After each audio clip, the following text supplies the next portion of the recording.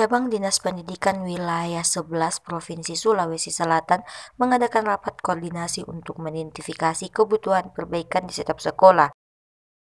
Melibatkan seluruh kepala sekolah UPT, SMA, SMK, SLB negeri dan swasta sewilayah 9 Provinsi Sulawesi Selatan yang digelar di Aula UPT SMK Negeri 2 Palopo pada Rabu 24 Mei 2023.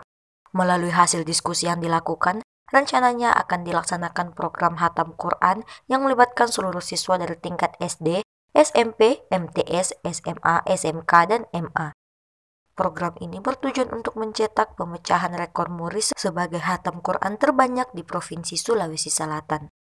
Salah satu program yang menjadi faktor utama dalam rapat koordinasi ini adalah membahas lahan di seluruh sekolah yang berada dalam ruang lingkup wilayah 9 Hal ini dimaksud untuk memberikan ruang yang lebih baik bagi proses pembelajaran di sekolah.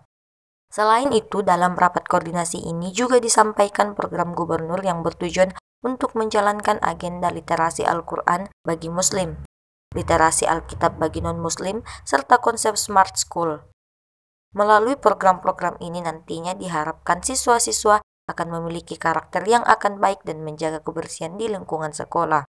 Kepala Cabang Dinas Wilayah 9 mengungkapkan program ini adalah program bersama Andi Sudirman Sulaiman dalam meningkatkan mutu pendidikan di Sulawesi Selatan. Ujung utama dari kegiatan ini adalah berpusat kepada peningkatan kompetensi siswa. Semua yang kita lakukan ini muaranya adalah ke peningkatan kompetensi siswa. Kita mengharapkan ke depan semua apa namanya kompetensi siswa kita mulai dari pendidikan dasar sampai kepada pendidikan menengah semua tercapai sesuai dengan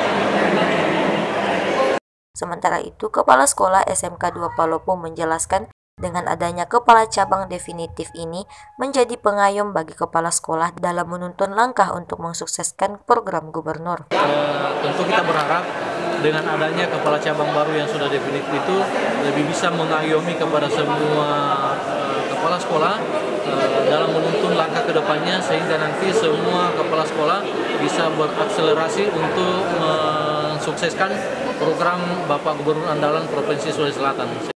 Dari kota Palopo, Sulfikri mengabarkan untuk Koran Seruya dan Seruya TV.